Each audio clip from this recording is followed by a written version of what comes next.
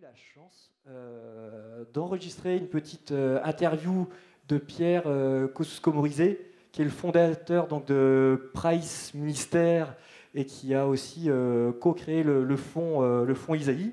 on a eu cette interview grâce à, Ronan Lemoyle, hein, le directeur général du Crédit Mutuel Arkea, qui va animer du coup cette session juste après ce petit film.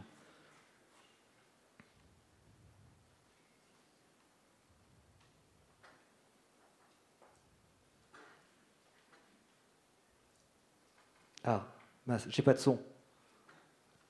On avait essayé pourtant.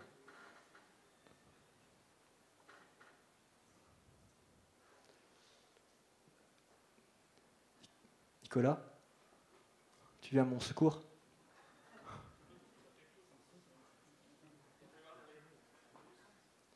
Ouais, le son est bon ici. Tout va bien se passer. Il y a eu un petit tremblement de terre. C'est peut-être à cause de ça.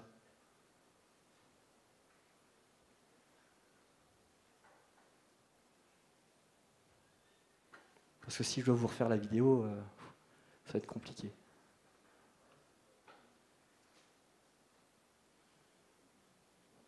C'est en, août 2000.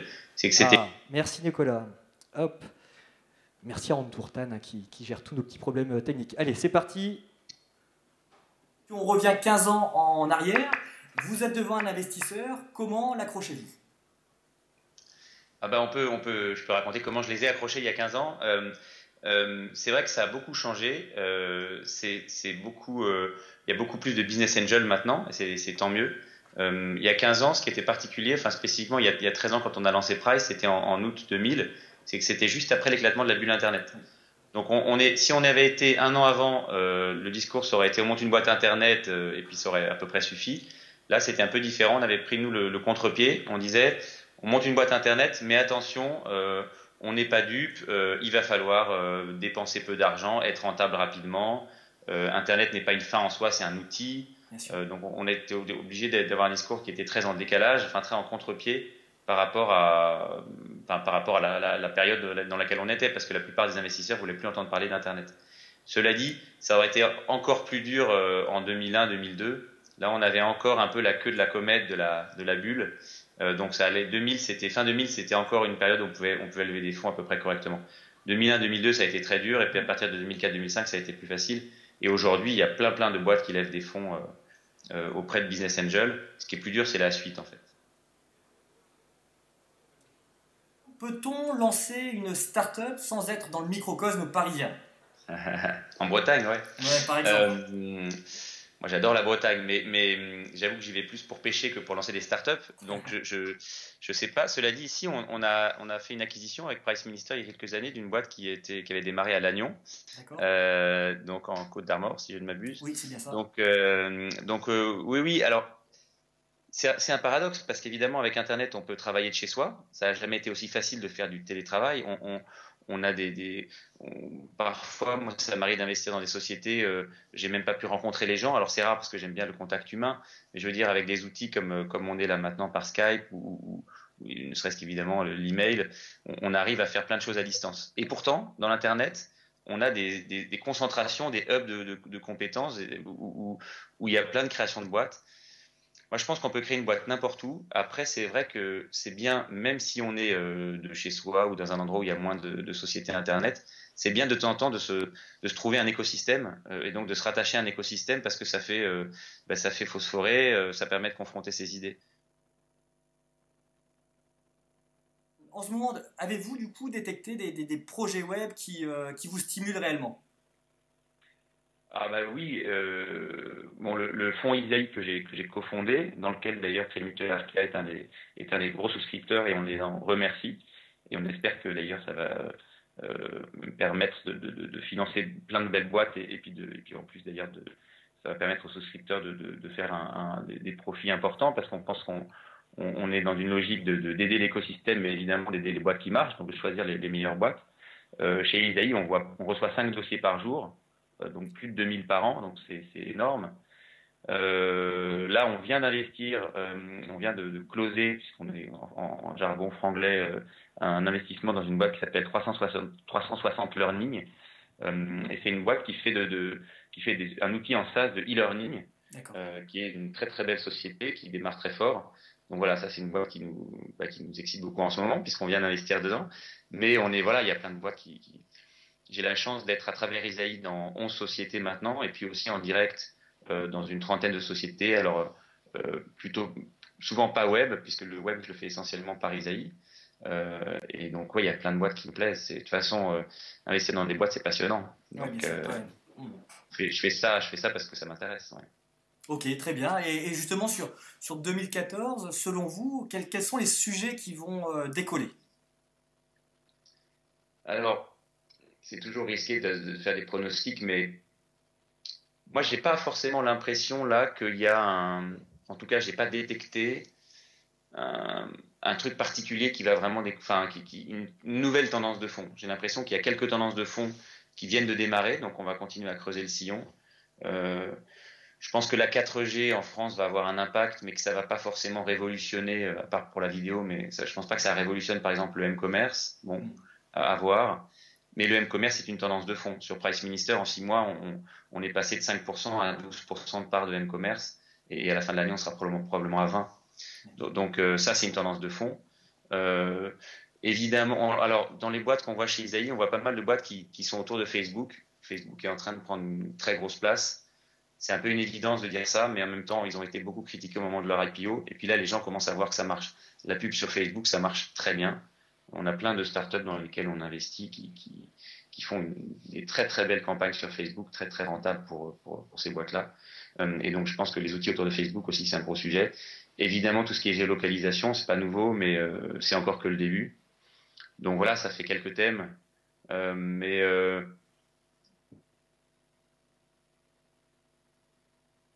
il y a des boîtes qui se créent tout le temps aussi. Donc c'est pas la peine de de se dire monte une boîte, il faut absolument que je sois dans le thème en chute de l'année prochaine. Parce que c'est peut-être là en plus où il y aura beaucoup de concurrence. D'accord. Moi, je pense qu'il ne faut, il faut pas se poser trop ce genre de, genre de questions. Et, si vous pouviez du coup faire évoluer le, système de, de, financement des, des, startups en France, quelle ligne euh, bougeriez-vous du coup? Alors, pour moi, on est euh, donc dans la chaîne de financement, il y a plusieurs étapes. Si on schématise, il, y a les, il, faut qu'il y ait des gens qui aient des idées, des entrepreneurs. Ensuite, il faut qu'ils trouvent le premier tour de financement, en général des business angels ou friends and family. Ensuite, il y a un premier tour de table qui souvent fait entre 500 000 et 1,5 million ou 2 millions d'euros. Et puis après, il y a un tour qui est plutôt vers, vers 5 ou 10. Euh, Aujourd'hui, on a plein d'entrepreneurs. Euh, on le voit au nombre de projets qu'on reçoit chez Isaïe. Donc pour moi, ça c'est bien. On pourrait en avoir encore plus, ce serait encore mieux. Mais j'ai pas. Je pense que là-dessus, on, est déjà, on n'a jamais été aussi bien. Je pense qu'on a beaucoup moins de business angels que les Anglais ou les Américains, mais on en a quand même beaucoup plus que ce qu'on n'a jamais eu. Donc là aussi, on pourrait déplafonner par exemple, ou en tout cas remonter le plafond de, des défiscalisations ISF euh, quand on investit dans des startups, mais et je pense que ce serait une très bonne mesure. Mais au fond, aujourd'hui, c'est pas ça qui manque le plus. Je pense que ce qui manque le plus sont des fonds qui peuvent mettre des tickets de 1 à 1,5 2 millions d'euros. C'est-à-dire la taille du Isaïe, Venture, notre premier fonds, c'est entre 500 000 et 1,5 million d'euros. On a un deuxième fonds qui met des tickets plutôt de 2 à 8 dans des boîtes plus matures. Et ce premier fonds Isaïe, euh, il a peu de concurrents. Alors c'est très bien quand on est Isaïe parce que ben, on, a, on, a, moins la pression pour, euh, pour aller vite dans les boîtes dans lesquelles on veut investir. On va vite quand même parce qu'on veut les aider rapidement, mais euh, on est content d'avoir peu de concurrence. Mais franchement, euh, ce serait mieux pour la France qu'il y ait plus de fonds comme Isaïe. Euh, et donc, euh, voilà, si je pouvais donner un coup de baguette magique, c'est là que j'agirais. Je dirais, il faut créer plus de fonds de cette taille-là. Accessoirement, il y a aussi à l'étape d'après un manque de financement. dès qu'on cherche 5 ou 10 millions d'euros, on se retrouve en général à aller voir des fonds anglo-saxons et c'est dommage. Donc là aussi, si on peut avoir des fonds français qui mettent, enfin plus de fonds français qui mettent ces montants-là, ce serait bien. Avez-vous un conseil pour le public de la West Web Conférence euh, qui est composé de, porteurs de projets ou de jeunes start Est-ce que vous, auriez un conseil à, leur donner? Écoutez, allez trouver des financements euh, chez Crédit Mutuel Arkea euh, et comme nous. et sinon, non, non, bon, je dirais qu'il faut juste qu'ils, il faut juste qu'ils aillent au bout de leurs idées. C'est le seul truc. Euh, quand on monte une boîte, on ne sait jamais si elle va marcher, mais en tout cas, on sait qu'on va avoir une bonne expérience, que ça va être passionnant euh, et qu'on va que ça va être enfin qu'on va s'amuser, qu'on va apprendre quoi. Voilà. Donc euh, moi, ma première société n'avait pas marché, et, si, mais, mais si je l'avais pas monté, j'aurais pas monté la deuxième, c'est-à-dire Price Minister. Donc voilà, faut, faut y aller. Et puis, et puis, et puis bon, si ça marche pas, bah faut se rendre compte suffisamment vite pour pas se brûler les ailes et, laisser trop de plumes, quoi. Voilà, c'est tout. Mais, mais, mais en revanche, faut aller à fond pour, pour tenter l'aventure, quoi.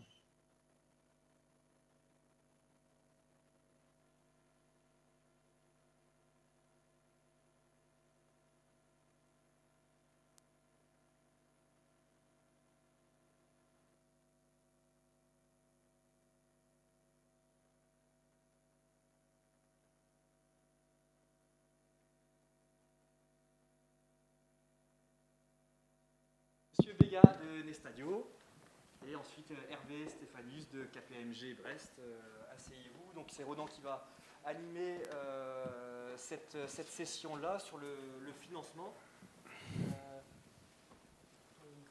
c'est bon, Sébastien, ça marche très bien. Merci beaucoup. Bah, merci à Pierre d'abord pour ce bel écran de publicité qu'il a fait au Crédit Mutuel Arkea. Je vous rassure, ce n'était pas dans le pitch, il l'a fait spontanément. Sébastien, tu peux témoigner. J'étais pas, j'étais rien. D'abord, avant de commencer, peut-être une grande félicitation euh, à la West Web conférence, à toi Sébastien, à tous ceux qui ont travaillé. Vous avez réussi à faire faire un tremblement de terre à Brest aujourd'hui, d'amplitude de 3,9 si j'ai bien compris sur l'échelle de Richter, ce qui montre euh, toute la dose d'énergie que vous avez mis sur le sujet. Et puis j'ai noté également que Charles Kabilik, au contraire de d'habitude, avait mis une cravate. En général, c'est moi qui ai une cravate et lui, il n'en a pas. Il est plutôt en jean, euh, chemise. Bon, on, a, on a inversé les rôles. Tout ça pour dire qu'on a gardé les. vous avez gardé les financiers pour la fin ceux qui sont en costume gris et parfois en cravate. Euh, j'en avais une tout à l'heure, Bertrand, mais je, l'ai enlevé sachant que j'arrivais ici, donc, euh, je vous rassure. on a en fait la, chance tous les trois de, venir vous parler aujourd'hui et d'essayer d'échanger ensemble autour du, thème du financement des startups. Pierre, Pierre Kousousko euh, connaît bien le sujet à bien les égards pour avoir lui-même eu besoin de, de, se financer à plusieurs reprises et puis pour aujourd'hui beaucoup travailler sur le financement des startups, connaît bien cette problématique, cette thématique. On sait que c'est au bout d'un moment le nerf de la guerre. Des bonnes idées, c'est important. Un super entrepreneur, c'est important. Une bonne équipe, c'est bien, mais si on n'a pas le carburant pour mettre dans le moteur, euh, on ne va pas très très loin. Donc on voit bien que c'est un sujet euh, assez passionnant. Donc je suis accompagné euh, aujourd'hui de Hervé et Bertrand pour essayer avec vous de faire un petit tour d'horizon en rebondissant en mode ping-pong sur les, points qui nous apparaissent assez essentiels en la matière. Avant de commencer, ce que je vous propose, c'est de faire un peu ce qu'on demande en général à une startup, c'est de, faire, de pitcher en 30 secondes chacun sur ce que nous faisons et les entreprises dans lesquelles on, travaille, de telle sorte que vous, en connaissiez un peu plus sur nous et on passera assez vite dans le vif du sujet. Peut-être commencer par le seul qui a gardé la cravate, Bertrand. Je vous en prie. Merci. Bertrand Bégin. Donc Nestadio, Nestadio c'est la start-up des fonds d'investissement. Donc euh, je vis un peu la même chose que les entreprises qui viennent se présenter devant moi. On est une très jeune société de gestion euh, qui gérons aujourd'hui 60 millions d'euros pour 60 participations. Voilà, à peu près. Euh, j'ai pas été toujours dans le, monde de la, finance et j'ai fait pas mal de retours entre la finance d'un côté et le monde des entreprises. Donc ce que, vous vivez, c'est des choses que je connais bien. Je vois des centaines d'entreprises et de start-up tous les ans et c'est un métier de passion. Donc euh, n'hésitez pas à venir, à, nous poser des questions, à nous interroger. Sachez que euh, le monde de l'entreprise et le monde de la start-up, c'est quelque chose pour lesquels on a euh, chez Nestadio, et je pense ici, tous, tous autant qu'on est autour de la table, une grande attention, une grande sympathie. Voilà. Hervé Stéphanus, pour ma part, donc je suis expert comptable, commissaire au compte chez, KPMG. Euh, je n'ai pas toujours été dans le monde de, la finance et de la compta, puisque je suis ingénieur de formation d'origine. Euh, ce n'est qu'au bout d'un certain temps que j'ai basculé euh, euh, dans, ce, dans ce monde de l'expertise et du conseil. J'interviens ici à plusieurs, plusieurs titres en, en, tant que KPMG, clairement, puisque KPMG accompagne un certain, nombre de, de start-up, réalise un certain nombre également d'analyses et d'observatoires sur les levées de fonds. Euh, avec des équipes spécialisées, euh, euh, notamment à Paris, mais pas seulement. mais je suis aussi membre de, de Angels, donc j'aurai l'occasion d'en parler un petit peu tout à l'heure. Je vais finir aussi, donc moi, Ronan Lemoyle, donc je suis directeur général du groupe Crédit Mutuel Arkea, qui, si je le fais court, est, un groupe de, de banques assurances qui revendique d'être une banque de ces territoires, donc qui fait d'abord de la banque de l'étail, et qui a choisi pour grandir en dehors de ces territoires le levier technologique via des, modèles de distribution nouveaux, la banque en ligne. Nous sommes aujourd'hui actionnaires de, de Fortuneo Bank. Et nous vendons par ailleurs nos prestations en marque blanche. Nous fournissons à d'autres établissements bancaires, d'autres assureurs, des grands distributeurs, Alliance Bank, euh, la Banque Postale, euh, Amazon, Sarenza et plein d'autres marques que je pourrais vous citer. Toutes nos solutions bancaires, depuis les solutions monétiques, le paiement, vous connaissez sans doute, jusqu'à des solutions de système bancaire en marque blanche. Donc voilà, on est aujourd'hui un groupe de 9000 personnes euh, dont le siège est à Brest. C'est une de nos grandes fiertés. On est sans doute la dernière grande banque régionale, la dernière grande banque nationale dont le siège est encore en région. Et à titre personnel, au-delà de mes fonctions euh, que j'exerce avec beaucoup de passion, je suis par ailleurs un passionné des startups. C'est ce qui d'ailleurs m'a rapproché notamment de, Sébastien et de Charles. Voilà, donc ce petit, euh, ces petits 30 secondes étant prises par chacun d'entre nous, je propose d'aller directement dans le vif du sujet, en commençant peut-être, euh, Bertrand, par une première question. C'est de vous demander ce qui, selon vous, fait la particularité du financement des startups. Écoutez, c'est très simple. Dans une startup, on finance une vision. Euh, on ne finance pas dans le rétroviseur comme on peut le faire dans, une entreprise classique. Euh, donc, qui dit, une vision dit arriver à nous faire partager un certain nombre de choses ou à faire partager à l'ensemble de vos interlocuteurs un certain nombre de choses. Déjà, votre vision du marché, euh, puisqu'on est souvent sur des, des, applications de rupture ou sur des marchés de rupture. Donc, on a besoin de le partager. Et puis, derrière la vision, aller partager euh, toutes les composantes qui feront que vous saurez adresser ce marché ou que ce marché est adressable pour vous. Dire tant en termes d'équipe, euh, constituée autour de vous, euh, soit en interne, soit en externe, tout, ce qu'il faut pour pouvoir aller adresser ce marché. Et puis en termes de moyens, parce que une start-up, si elle veut atteindre son marché, il faut qu'elle puisse tenir dans la durée une des choses qu'on a le plus de difficultés à maîtriser ou à percevoir, c'est les, délais d'atteinte de, maturité de ces marchés. Combien de temps il nous faudra pour arriver euh, euh, à, exécuter ce qu'on présente? Combien de temps il faudra pour euh, arriver à faire croître l'entreprise ou à la faire rencontrer son marché? Donc, dimensionner correctement et, et, on a besoin de partager la façon dont a été dimensionné ces besoins. Voilà. Et donc, tout ça, tout ça nous éloigne beaucoup des modèles classiques de financement où euh, on regarde ce qui s'est passé dans le passé pour se projeter dans l'avenir. Là, on est dans quelque chose de radicalement différent. Hervé, peut-être pour compléter?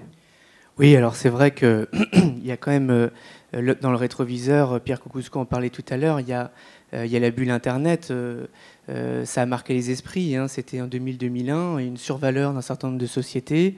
Euh, et la bulle explose. Donc il y a des investisseurs qui, ont été, euh, qui avaient été refroidis à ce moment-là, euh, qui, sont encore, qui sont encore présents. Ceux qui avaient investi s'en sont brûlés les doigts pour certains. Ceux qui ne l'avaient pas fait étaient contents et il y a eu besoin de redonner confiance. Donc en ça, le business web et Internet est encore un petit peu marqué dans, le, dans, le, dans le périmètre français et, mondial.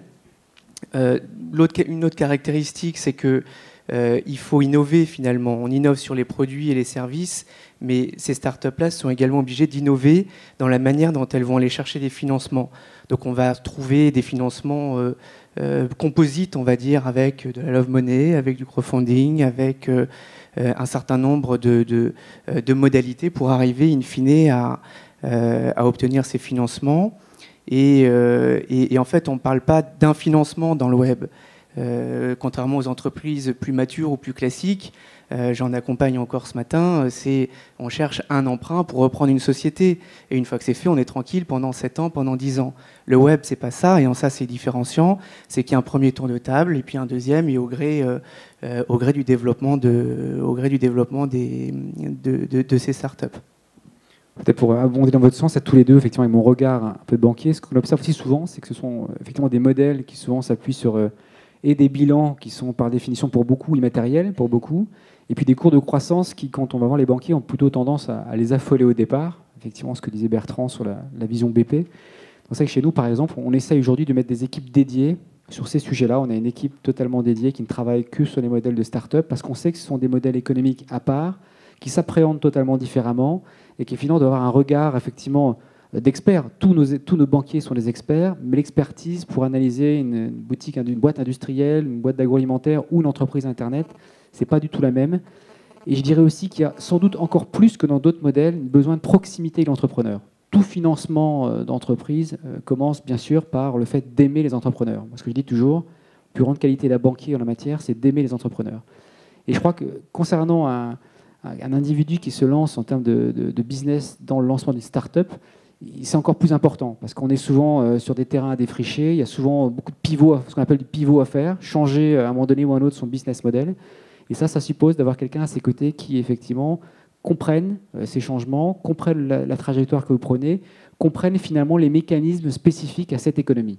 Donc voilà pour, pour compléter un peu cette thématique qui d'ailleurs me fait penser à une autre question, peut-être Hervé, qui vient juste derrière, c'est qu'on peut se demander aujourd'hui si on a tous les outils véritablement en France pour, euh, pour financer les startups. Est-ce qu'il y a effectivement dans, la panoplie de ce qu'on peut trouver, hein, euh, financement bancaire, le financement euh, via le, private equity, les business angels ou autre chose, d'ailleurs la BPI aujourd'hui, est-ce qu'on peut dire qu'on a tous les outils? Qu'est-ce qui manquerait le cas échéant? Alors aujourd'hui, on est globalement mature en termes d'outils en France. on a, quand on regarde les chiffres, c'est entre janvier 2010 et, et, fin 2012. Euh, c'était autour de, 900 millions de levées pour euh, plus de 300 projets. Donc ça brasse, ça bouge. Euh, aujourd'hui, on parle d'incubateurs, on parle de, fonds, de fonds spécifiques spécialisés. on est dans un pays qui clairement a une vraie capacité à innover. il y a un, classement récent qui est tombé cette semaine, vous l'avez peut-être vu, qui classe la France troisième dans ses capacités d'innovation, après les États-Unis et, après le Japon. Euh, donc, euh, donc il y a un véritable euh, esprit d'innovation en France. Maintenant, ce qui manque, il faut être aussi tout à fait objectif, on n'est pas un pays énorme. et donc, ce qui manque quelque part, c'est sans doute le, volume, même si à l'intérieur du périmètre, on a l'infrastructure. Après, les, outils vont aussi dépendre des, marchés. Il y en a qui vont se financer mieux que d'autres. le e-commerce va se financer mieux que la e-réputation qui démarre et qui se financera mieux que le e-gaming ou ou euh, que le e-tourisme, par exemple. Bertrand? Oui, globalement, je, pense, et c'est ce, que, ce que disait le petit film en introduction, les outils existent aujourd'hui. Euh, la question qui se pose, c'est leur dimensionnement. Il y a peut-être peut un manque sur l'amorçage, parce que c'est toujours une phase difficile. Alors, est-ce que le manque, il est en financement? Est-ce qu'il est en accompagnement sur la façon de présenter ces projets? Je ne saurais pas le dire. Toujours est-il qu'effectivement, la phase d'amorçage, c'est une phase toujours compliquée pour une entreprise. Euh, euh, aujourd'hui, une des particularités, c'est que euh, on n'est on plus dans un environnement régional fermé. Aujourd'hui, les dossiers circulent, la, vision, elle est, elle est à minima européenne. sur les startups et sur les technologies de rupture, voire elle est mondiale. Mm-hmm. Donc, la plupart des projets, ils ne seront pas challengés euh, par rapport à ce qu'on peut voir localement, ils seront challengés par rapport à euh, l'état de l'art au niveau international. Donc il y a cette, il y a cette dimension qu'on a en plus par rapport à ce qu'on avait il y a quelques années. D'accord. J'aime bien l'idée que vous évoquez également sur le côté amorçage. Moi j'ai le sentiment que parfois, bah, c'est une remarque personnelle, et Pierre le, soulignait dans, dans, le petit film, on a, alors un engouement, c'est peut-être un grand mot, on a de plus en plus de particuliers notamment qui veulent euh, venir financer les startups au stade business angel. Il y a un des sentiments que j'ai pour euh, moi aussi m'y intéresser euh, de mon côté, c'est de voir beaucoup de personnes désemparées au moment d'y aller finalement, peut-être parce qu'on n'a pas forcément le format recherché d'information côté entrepreneur, euh, des, présentations de l'entreprise pas suffisamment chiadées, un accompagnement pas suffisamment carré, et peut-être aussi que dans la phase d'exécution, quand on passe à l'acte, tout simplement, les pactes d'actionnaires, les contrats d'LSPA, les contrats d'acquisition, ce genre de choses, c'est pas toujours euh, facile de s'y mettre quand on est un particulier. Alors, je sais pas ce que vous en pensez, je ne sais pas si c'est une des idées que vous évoquez, mais je pense que si on veut démocratiser encore davantage, il faut être capable peut-être d'accompagner cela, chose que vous faites très bien quand vous êtes dans un fonds par définition, c'est votre métier, plus difficile quand on est un particulier ou un petit corporate. Oui, et c'est plus difficile aussi parce que finalement, en fonction des publics qui interviennent, business angel ou, personnes physiques ou, ou fonds d'entrepreneurs, les préoccupations de vos interlocuteurs ne seront pas forcément les mêmes. Euh, donc vous avez besoin presque d'adapter votre présentation au, type de financeur que vous avez en face de vous. Ce qui est moins vrai dans les, étapes suivantes, parce que les étapes suivantes, les choses sont plus formalisées. Et puis, euh, et puis vous avez cette phase d'apprentissage, toute cette technicité du, financement qui rend quelquefois les choses complexes, euh, qui nécessite d'avoir, soit d'être accompagné, soit d'avoir des gens en face de vous qui, qui ont un rôle pédagogique autant qu'un rôle de financeur sur l'approche de ces outils-là. D'accord, merci. J'étais hier avec une des personnes qui a été parmi les, les, acteurs de la fronde des pigeons, là, à côté de Jean-David Chamboredon, Olivier Massiot, vous connaissez sans doute, qui est un des, un des bras droits de Pierre Kosciusko-Morizet d'ailleurs, chez, chez Price Minister, et on reparlait justement de ce sujet. Et j'ai envie de vous poser la question suivante, c'est qu'est-ce qu'il ce qu'il faut retenir finalement de, de, cette fronde des pigeons, là, du, de l'énorme buzz médiatique que ça a pu faire et des grands remous qu'on a pu voir derrière et tous les assises qui s'en sont suivis pour euh, réviser la, fiscalité des, plus-values. Qu'est-ce que, vous en retenez, vous, Bertrand? Moi, je vais être assez euh, acide sur ce sujet-là. Euh, je vais dire que ça, ça a fait beaucoup de buzz, mais finalement, ça n'a rien apporté. ça a rien mais, mais, je vais en tirer quand même deux remarques. L'une, c'est que finalement, ce mouvement n'a pas été du tout anticipé par les politiques, quels qu'ils soient. C'est quelque chose qui s'est créé ex nihilo, que, que nos politiques n'ont pas vu venir. Et puis euh, l'autre chose, c'est que finalement, on n'en a, rien retiré de réel parce qu'une des problématiques qui reste notre problématique nationale, c'est une problématique de fiscalité et d'instabilité fiscale. Et qu'aujourd'hui, euh, un, des aspects euh, en France, c'est qu'on est un pays d'entrepreneurs. On a beaucoup d'entrepreneurs, on voit beaucoup de dossiers, ça a déjà été dit mais que si on veut retenir nos entrepreneurs, euh, il faut leur donner un cadre euh, qui soit un cadre sécurisant. Et ce cadre-là, on ne l'a pas. On ne l'a pas aujourd'hui et, on, a peur de, ne pas avoir et de ne pas avoir cette stabilité-là. Et donc, pour, moi, le bilan de cette, euh, de cette fronde des pigeons, il a été très bien en prise de conscience, mais en résultat, à court terme, ça n'a rien donné.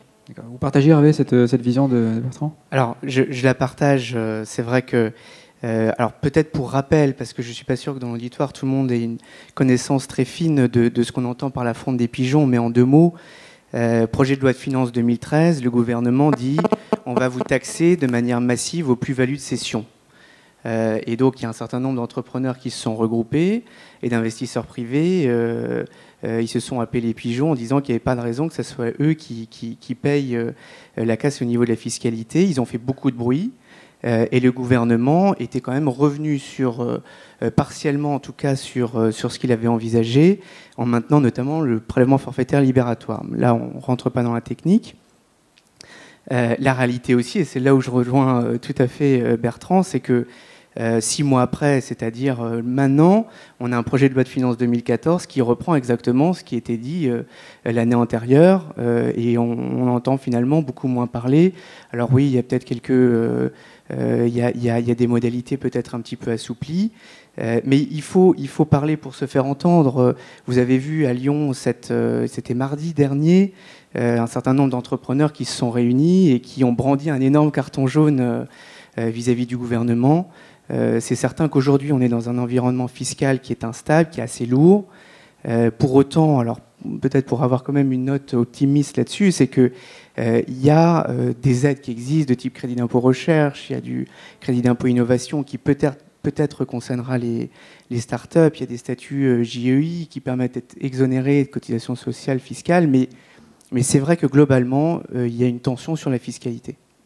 Non, mais on a on est dans un système très dual parce que c'est vrai que l'environnement des entreprises, des start-up et au niveau de, l'entreprise, euh, il y a peu de pays aussi favorables que la France. Et ça, il faut le dire, qu'à travers les crédits d'impôt recherche, à travers toutes les, aides, à travers ce que, peut amener BPI aux EO, euh, on a un environnement extrêmement favorable. Mais euh, on ne peut pas dissocier l'entreprise et l'environnement de l'entreprise de la façon dont on traite les entrepreneurs, parce qu'il n'y a pas d'entreprise sans entrepreneurs. Et donc, ne traiter que l'environnement de l'entreprise, ce n'est pas quelque chose de suffisant à, nos yeux. D'accord. Moi, ma vision sur le sujet euh, rejoint pas mal la vôtre. Je pense effectivement qu'on n'a euh, sans doute pas tiré la quintessence de ce mouvement au sens il y a un gros buzz, et ça, c'était un gros buzz inattendu qui a, c'est le moins qu'on puisse dire, plutôt bien fonctionné. J'ai le sentiment qu'il y a quelque chose qui a été très intéressant, je le tiens notamment des, quelques personnes qui ont eu euh, la possibilité d'évoquer celui de Fleur Pellerin, notamment euh, pendant la fronde des pigeons, c'est que ça a pu permettre de faire comprendre, aussi bizarre que ça puisse paraître, que des fonds qui investissent dans des entreprises Internet, des business angels investissent dans des entreprises qui souvent ne gagnent pas d'argent, ne gagnent souvent pas du tout. Alors ça paraît bizarre quand on dit ça. À vous peut-être qui êtes plus coutumier du fait, ça ne vous surprendra pas, mais effectivement, une start-up, en général, quand on met de l'argent dedans, quand on y investit, elle, à T0, elle n'est pas encore en phase de, de, résultats positifs. Et ça peut paraître étrange, mais une des prises de conscience majeures qu'il y a pu avoir du côté de politique, c'est de comprendre ce phénomène. ça peut vous paraître encore une fois surprenant, mais pour avoir discuté pas mal avec eux, ils m'ont dit si, si, euh, ils n'imaginaient pas que nous étions en situation d'investir dans des boîtes qui ne, ne gagnaient pas d'argent, voire en perdaient, et que donc les entrepreneurs eux-mêmes qui sont derrière sont en situation de ne pas se payer, euh, mangent des pâtes ou des pommes de terre quand tout va bien tous les jours, et qu'effectivement leur, chance finalement de, réaliser leurs rêves, euh, pas seulement financiers, mais malgré tout un peu financiers, c'est de pouvoir compter sur la plus-value à terme qu'ils feront dans 3, 4, 5, 10 ans, si tout va bien. Et effectivement, si on rentre dans une fiscalité un peu trop forte, on a un arbitrage assez rapide à faire entre le fait de manger des patates pendant 10 ans ou le fait de se faire salarier tout simplement et d'avoir un revenu euh, relativement assuré. Donc je pense qu'il y a une note positive qui est malgré tout celle-là. Ensuite, on va voir comment ça va, être, euh, ça va durer, effectivement, comment ça se passera en 2014. Je crois effectivement qu'on a encore beaucoup de travail pour euh, effectivement réconcilier finalement bah, notre environnement global avec le monde de l'entrepreneuriat qui effectivement ne peut pas être dissocié de l'entrepreneur lui-même qui est la clé de voûte de tout le système. Après, on peut se dire que la mondialisation viendra peut-être au secours de tout ça, parce que euh, comme on a des entreprises qui s'internationalisent de plus en plus tôt, notamment dans le monde des startups, euh, je sais que c'est un des sujets qu'on va aborder plus tard, mais euh, forcément, à un moment, se pose la question du traitement fiscal entre la façon dont, nos entrepreneurs sont traités et où ils seront traités à l'étranger. Et, cet environnement international pèsera forcément sur la fiscalité qui sera ou les, options fiscales qui seront prises en France. Ça c'est évident effectivement. Alors, on parlait, on a parlé pas mal d'entrepreneurs, ce qui est normal. Quel conseil vous donneriez, euh, vous, euh, Hervé, par exemple, un, un jeune entrepreneur qui vient voir avec son dossier et qui commence, finalement, qui va lancer sa boîte, euh, qui arrive avec allez, 10 PowerPoint en disant voilà mon concept. Qu'est-ce que vous donnez comme conseil? Alors moi, ce que je, ce que je dirais, c'est que euh, quand il va montrer son PowerPoint, c'est de pouvoir justifier euh, qu'il a, validé le, besoin. Euh, c'est inhérent on est dans un métier, l'innovation est un métier de l'offre. donc il faut avoir validé et justifié via une étude de marché, via des analyses, que cette offre qui est nouvelle correspond peut-être à, à un besoin qui peut-être n'est pas encore connu totalement du public. Ça, c'est le premier point. Euh, un autre point plus. Juste, je vous Il y a forcément un besoin qui existe. On ne crée pas finalement le besoin parfois aussi? On, euh, le, crée, mais via des études de marché, il faut venir le, tester. Euh, il faut venir. L'iPhone, on ne connaissait pas il y a encore quelques années. mais, mais c'est un concept qui a, été, qui a été testé. Et par rapport à ces tests, il était clair qu'il y avait, il y avait, un, il y avait un besoin. L'offre crée sa propre demande. Euh, on a euh, peut-être un deuxième, un deuxième conseil, c'est de s'équiper au niveau de l'équipe avec des personnes qui vont être dédiées opérationnelles et dédiées finances. Euh, parce que dans une start-up, on démarre et en fait on, fait, on fait tout de front. On vient mener la recherche de financement, la, recherche d'entrée d'actionnaires, tout en lançant son business. Price Minister a fonctionné comme ça. Pierre Cocusco était était dans la gestion de l'actionnariat avec euh, les, autres membres fondateurs qui étaient sur le, euh, qui étaient sur le business. L'autre point, et qui revient en commentaire assez récurrent, c'est vous voulez des fonds, c'est bien, mais dites-nous pourquoi. là, c'est peut-être plus un langage de banquier, mais c'est expliquer la destination des fonds que vous sollicitez. C'est-à-dire, est-ce que c'est pour faire de l'innovation technologique? Est-ce que c'est pour aller à l'étranger? Est-ce que c'est pour faire du recrutement? Il faut que tout, soit, soit, que tout cela soit euh, assez, bien, euh, assez bien affecté. Oui, oui, je ne vais pas reprendre ce qu'a dit Hervé, qui est très juste, très vrai et, très bien dit. Euh, je vais juste ajouter une petite chose, c'est que pour reboucler sur ce que disait Pierre Kosciusko-Morizet également, c'est qu'on reçoit énormément de dossiers. Aujourd'hui, il y a beaucoup d'entrepreneurs, il, il, y a, une dynamique nationale qui est incontestable. Et il faut savoir, on reçoit, nous, à notre niveau, plus de 500 dossiers par an. Euh, voilà. Euh, donc il faut pouvoir nous faire une, avoir une présentation de ces dossiers-là, et vous avez besoin d'avoir trois pitchs, un pitch de 30 secondes, un pitch de 3 minutes, et puis un pitch d'une demi-heure. Mais euh, quand on reçoit des dossiers, j'en ai eu ce matin que j'ai regardé très rapidement euh, sur mon iPhone, j'ai reçu un dossier de 50 pages. Je, suis incapable de lire un dossier de 50 pages. Euh, il faut être capable de, synthétiser la vision que vous avez en, deux slides, c'est tout. après, on ira dans le détail. Mais il ne faut, il faut pas vouloir donner l'ensemble du dossier dès le, premier jet. ça, ça c'est à mon avis essentiel. Bah, dans le prolongement de ce que vous dites, moi j'étais hier avec un fonds dans lequel on a investi, et ils faisaient le reporting, vous connaissez par cœur, euh, semestriel, ils évoquaient le fait qu'entre le nombre de dossiers qu'ils ont reçus et le nombre de dossiers dans lesquels ils ont investi en 2013, le taux c'est 3%. Donc c'est très faible. Moi ça m'inspire deux conseils. Le premier rebondit directement ce que vous disiez dire à l'instant, ayant en tête qu'effectivement, lorsque vous allez envoyer euh, votre document initial, il va être passé au tamis en pas beaucoup de temps pour la V1 en tout cas, et donc la première impression est celle qui compte véritablement. Et ayant en tête, pour ce qui est du deuxième point, qu'au final, ce qui fera la différence, c'est vous. Je, pense qu'au final, si on passe ces fourches codines-là, si on est capable effectivement d'avoir la présentation claire, le, pitch adapté en, de manière modulaire selon les publics, je crois que n'importe quel dossier web, au final, ce qui fait qu'il emporte ou pas l'adhésion d'un financeur, une fois qu'on a dit que le modèle était là, c'est l'entrepreneur lui-même la dernière question qu'on se pose, et on se la pose effectivement à chaque fois, c'est de se dire finalement, est-ce qu'on a envie de passer quelques années avec les gens qu'on a en face de nous? Est-ce que c'est -ce une, cohabitation qui va être profitable euh, à tous? Euh, Et ça, c'est la question finale. Si, effectivement ce, lien n'est pas passé, cette, la conviction n'est pas passée, si euh, n'y a pas cette dynamique commune, on n'aura pas envie d'y aller, vous non plus d'ailleurs. Ah en fait, il faut que, cette équipe de, créateurs montre aux investisseurs sa capacité à, pivoter, pour reprendre le jargon avec agilité. C'est-à-dire que l'investisseur, il sait très bien que ça ne va pas se passer comme prévu, euh, ni au point de vue opérationnel, ni au point de vue du business plan. Ça ne sera pas suivi à la lettre, c'est clair. Donc il a besoin d'être rassuré sur l'équipe qu'il a en face de lui et sa capacité ensuite à manœuvrer avec agilité pour aller chercher la valeur justement, euh, on en vient, on a parlé de finalement ce qui fait qu'on arrive à, passer euh, les fourches codines euh, des, différents niveaux de filtrage quand son dossier est sélectionné. Mais, pour vous, finalement, les caractéristiques de base d'un bon dossier, je vous le recevez, vous le recevez, vous avez effectivement 10 minutes peut-être par dossier pour au moins faire le premier, le premier regard de triage. C'est quoi les caractéristiques qui vont accrocher au-delà de ce qu'on disait, à savoir la concision, la clarté? Quels sont les éléments clés, Bertrand? Il y en a une toute première qui est déjà dire est-ce que c'est en phase avec euh, notre politique d'investissement? Vous avez, euh, c'est une des premières choses, vous avez tout un certain nombre de fonds d'intervenants, chacun n'investit pas dans tous les domaines. Ça, veut dire qu'il faut donc, quand on cible les gens qui en envoient, il faut déjà savoir si effectivement on ne fait pas. Euh, en tapant un peu au hasard et en ayant le... En tapant au hasard, vous allez taper chez des gens qui, euh, qui écarteront d'emblée votre dossier euh, pour des raisons simples. C'est qu'on a besoin de comprendre un minimum là où on investit. Et comme on ne peut pas être des spécialistes de tous les secteurs, ben de façon naturelle, il y a des secteurs où on, comprend moins, euh, voire on comprend rien. Et, donc, on ne va pas dans les secteurs dans lesquels on ne comprend pas. Euh, donc forcément, vous avez, vous avez une première sélection pour, pour, bien identifier les gens à qui vous allez envoyer vos dossiers.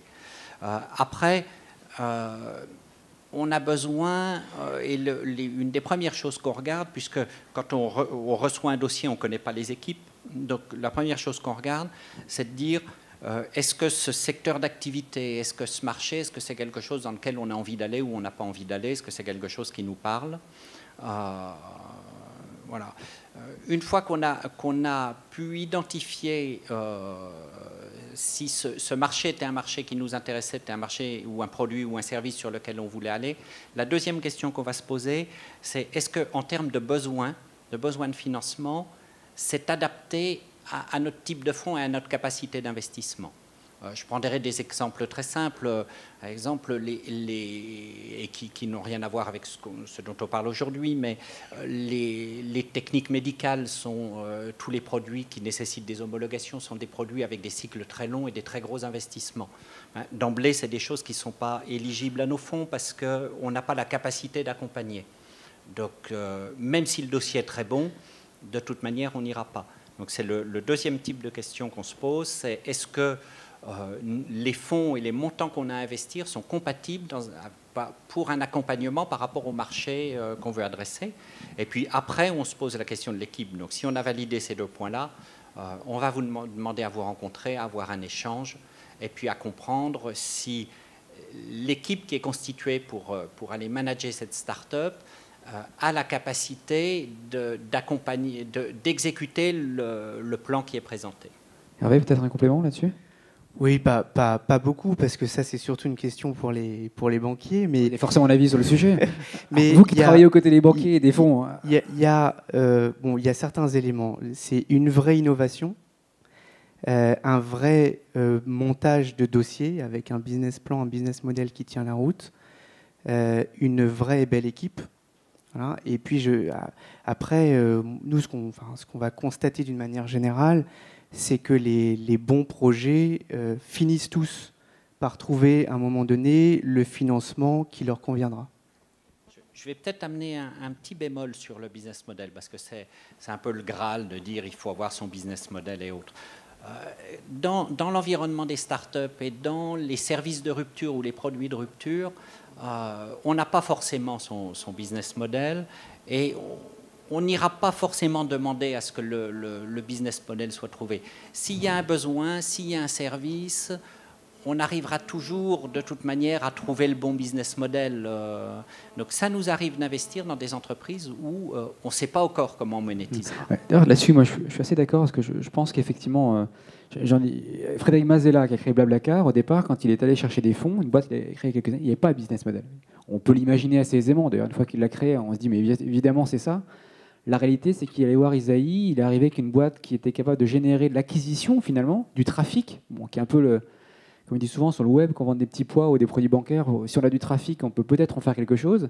Donc il est arrivé avec un produit qui était, euh, point numéro un, générateur de trafic, assez euh, surfant sur la vague du collaboratif, on va dire. Et c'est en travaillant avec les équipes d'Isaïe qu'il a bâti finalement son business model.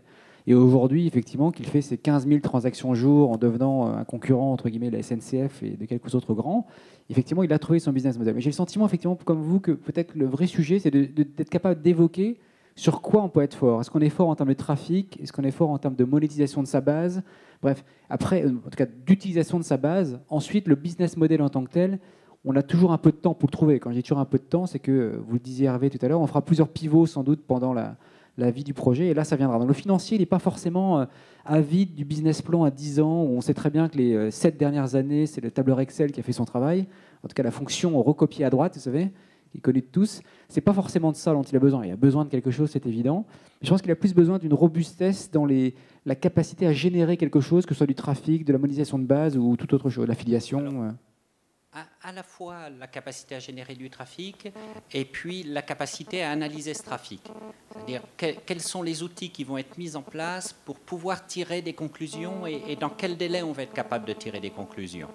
Euh, une des particularités aujourd'hui de l'environnement euh, Internet, c'est qu'on a les retours marché très rapidement. Euh, il y a quelques années, vous lanciez un produit, vous le mettiez sur le marché, six mois après, on faisait une étude, on commençait, et, le cycle de décision était très long. Non, aujourd'hui, euh, vous lancez un nouveau service sur Internet, euh, le lendemain, vous voyez comment réagissent les internautes, vous êtes capable d'en tirer des conclusions et de, d'amender, votre, projet. Donc, quels outils vont être mis en place pour pouvoir tirer quelles conclusions et, que ce, travail il soit il soit partagé avec les financeurs? D'accord. On parle de financement, je ne peux pas empêcher de poser une question concernant la BPI, la Banque publique d'investissement, dont on a beaucoup entendu parler récemment, en tout cas, s'agissant des sujets technologiques. Il y a d'autres sujets sur lesquels on a entendu parler de la BPI. Mais s'agissant des sujets techno, on a entendu parler autour de, du financement de Weezings, où je crois de mémoire, c'est 20-25 millions d'euros, qui ont été mis dans, dans Weezings. Savez, cette, boîte, effectivement, qui a mis en place euh, quelque part des modèles visant à monitorer euh, votre santé, avec tous les dérivés qu'on peut en, en, en, faire découler demain. Est-ce que ça change pour vous, quelque part, euh, quelque chose de fondamental sur cet axe particulier des startups de voir la BPI émerger aujourd'hui c'est très bien, c'est très bien, et, si la BPI intervient sur ces sujets, on peut se dire que euh, qu'au niveau gouvernemental, ça veut dire qu'il y a une prise de, conscience. Donc euh, pour ça, c'est très bien. Après, euh, sur notre sujet du jour, qui est les startups, on, on parle de montant, on parle d'intervention en termes de maturité d'entreprise sur des choses qui ne sont pas de nos sujets du, jour. Mais si demain on veut générer, on parle de générer les champions, euh, les champions français euh, qui commencent forcément par une start-up, est-ce que c'est une bonne chose ou pas de voir la BPI arriver? mais si on parle champion français, euh, on, parlera, on, parlera, champion sur, sur un produit, sur un usage qui forcément ne sera plus franco-français. Et donc si le financement, on ne le trouve pas à la BPI, on le trouvera ailleurs. Euh, de toute manière, les bons projets, là où il y a des vraies ruptures, des vraies avancées, ils sont financés, on n'a pas, pas trop de, soucis. Après, dans les contacts que, nous, fonds, on a pu avoir avec la BPI, il y a une ou deux choses qui, euh, qui nous étonnent, c'est quand on conditionne les concours à une demande ou une interdiction de revente hors Union européenne de l'entreprise. Ça, ça, nous paraît politiquement euh, dans l'air du temps, mais assez euh, antinomique avec ce qu'on veut faire en matière de start-up et d'internationalisation. Hervé? Oui, alors c'est alors juste la BPI euh, pour être sûr également que l'auditoire connaisse, hein, c'est OSEO, c'est la Caisse des dépôts, puis c'est le, FSI. et c'est vrai qu'à Quitting, ça a marché. Alors c'est peut-être 11 millions ou 15 millions. En tout cas, c'est un montant qui est très important. Euh, qui était une des premières actions euh, euh, de, leur fonds Large Venture au, sein de, BPI. c'est censé investir entre 300 et 500 millions. Donc, on disait tout à l'heure, on a besoin de, volume en France par rapport à d'autres pays. Là, on sent que ça peut prendre. mais, mais, Bertrand, enfin moi je rejoins tout à fait ça. Nicolas Dufour a dit OK, on vous finance, mais la R&D reste en France et tout ce qui tourne autour aussi. Donc c'est un investissement public avec nécessairement quelque part ensuite des Ce que vous suggérez, euh, c'est que les carcans qu'on peut y voir, euh, je, résume peut-être violemment votre pensée, mais les carcans qu'on peut souhaiter mettre autour des, investissements qui seraient faits par la BPI peuvent faire en sorte que finalement l'argent injecté n'ait pas la valeur qu'on imaginait. C'est ça que vous dites ou pas euh, finalement? Non, ce qu'on dit, c'est que simplement aujourd'hui, on est dans un environnement très international. La vraie problématique, c'est de, créer de la valeur, c'est de créer des champions, c'est de ne pas mettre des carcans euh, qui n'ont aucun sens. Euh, euh, c'est comme de, vouloir préserver l'agriculture au, sortir de la Seconde Guerre. voilà. D'accord. on va arrêter de parler la BPI, on va parler des gens qui investissent. Nestadio. Allez, Bertrand, on va parler de Nestadio. Nestadio, qu'est-ce qui motive Nestadio à faire de l'early stage finalement? C'est quoi vos motivations premières? Alors, euh, l'early stage, on y est venu parce qu'on estime aujourd'hui qu'il y a une conjonction qui est extrêmement favorable sur, euh, les startups et qu'on n'a quasiment jamais connue antérieurement. Euh, c'est-à-dire une conjonction en termes techniques. Aujourd'hui, avec les combinaisons du mobile, de la géolocalisation, des réseaux sociaux, du cloud, on voit émerger des projets avec une vraie ambition internationale, avec une vraie rupture, avec des services qui, arrivent à prendre en porte-à-faux même des grands, des grands groupes, euh, et tout ça avec des moyens capitalistiques assez faibles finalement. Et ça, historiquement, au-delà du monde des startups, dans la création d'entreprises en général, c'est une conjonction qu'on a rarement vue, voire jamais vue. Et donc, on estime que euh, avec cette conjonction-là, on peut se permettre d'investir en early stage parce que euh, on, arrivera avec des petits montants à faire émerger des entreprises et arriver à les accompagner, euh, ce qui est tout à fait nouveau. Pour aller dans le concret, je pense que tout le monde sera intéressé par entendre des choses concrètes sur ce que vous faites. Peut-être un ou deux exemples concrets de, dossiers qui aujourd'hui euh, vous occupent, vous ont occupé, vous ont passionné, dans lesquels vous croyez? Sur lesquels vous êtes en tout cas. Forcément, les dossiers dans lesquels on investit, c'est des dossiers dans lesquels on croit. Par définition, mais, encore, mais encore. Mais euh, aujourd'hui, on ira chercher des dossiers où il y a des, ruptures d'usage. Euh, alors, très souvent, les ruptures d'usage, elles sont sous-tendues par la plateforme technologique, mais ce n'est pas la plateforme technologique pour la plateforme, c'est la plateforme pour l'usage qu'on pourra apporter. Alors, de façon concrète, euh, vais vous donner nos, derniers investissements de, ce mois-ci. Euh, ça peut être des plateformes de location de voitures avec chauffeur. Aujourd'hui, euh, le monde, dans le monde du, transport, le monde des taxis, euh, c'est un, c'est un monde qui n'a pas évolué depuis la location des, véhicules avec cocher, grosso modo. Avec tous les lobbying qu'il y a autour, de surcroît. Et donc cette, cette, les plateformes technologiques permettent de gérer des voitures avec chauffeur en apportant un service qui est complètement différent. on a, donc, on a investi dans une entreprise qui s'appelle Navendis, qui notamment aujourd'hui, quand vous réservez vos billets SNCF, la SNCF vous propose le préacheminement et le post-acheminement. Voilà, c'est fait par cette entreprise-là. Euh, ça peut être ça. Mais ça peut être aussi des choses dans des, qui ont beaucoup moins de visibilité, qui sont beaucoup moins grand public. Et ça, ça parlera peut-être pour les, technophiles.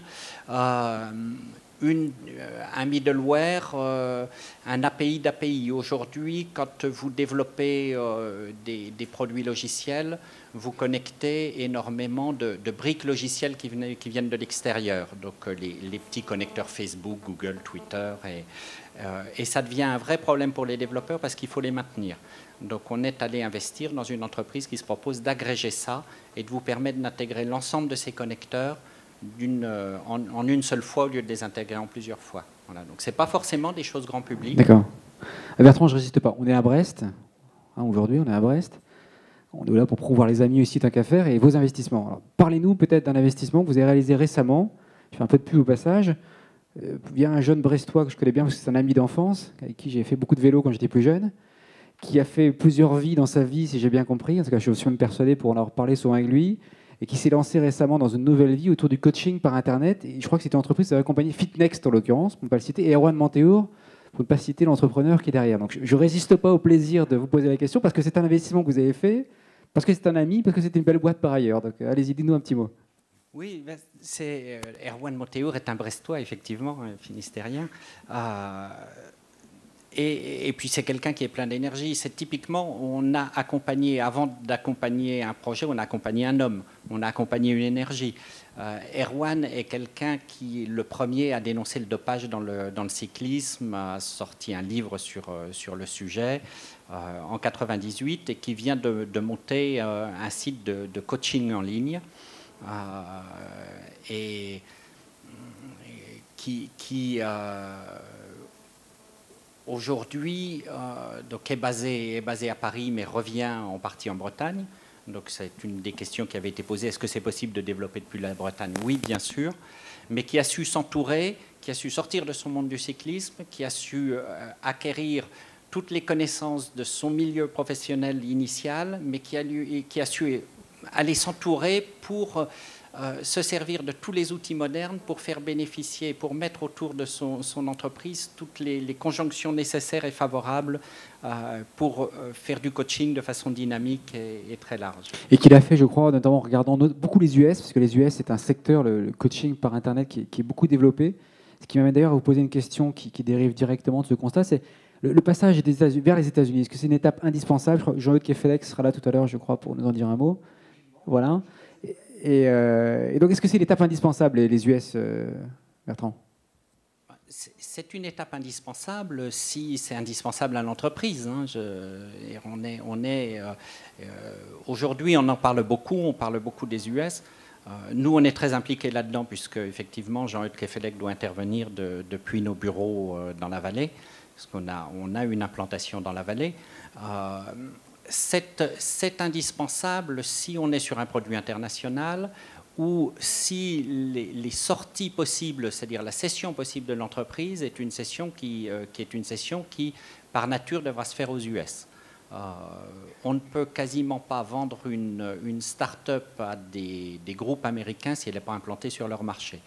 Donc, oui, si on a euh, un produit qui est un produit international ou qui a besoin d'une base internationale, ou si on est sur une entreprise qui a vocation à être vendue à un, grand groupe de l'Internet, on a besoin d'être basé aux États-Unis.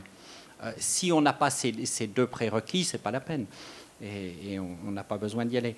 Après, euh, quand on dit euh, États-Unis, on, peut en parler, je ne sais pas si c'est le lieu, si c'est le, jour, mais on a, nous, bien identifié les prérequis pour pouvoir aller sur le marché américain. Et un des prérequis importants, qui est incontournable, c'est qu'un des dirigeants fondateurs aille s'implanter aux États-Unis. Effectivement, le, le, mythe de on peut tout faire depuis un seul endroit et pas forcément le plus adapté, traverser l'Atlantique, s'implanter physiquement, ça, reste, on l'imagine d'ailleurs assez aisément, euh, la, la condition sine qua non pour réussir. Oui, c'est-à-dire que on ne peut pas réussir aux États-Unis en allant recruter un manager local à qui on irait confier le marché américain. Toutes les success stories françaises euh, aux États-Unis sont des, des, succès qui se sont basés sur une présence d'un des fondateurs sur le marché américain en proximité. Ça veut dire aussi qu'il faut être capable euh, à la fois de développer son entreprise en France euh, et d'assurer la présence sur le, sur le marché américain.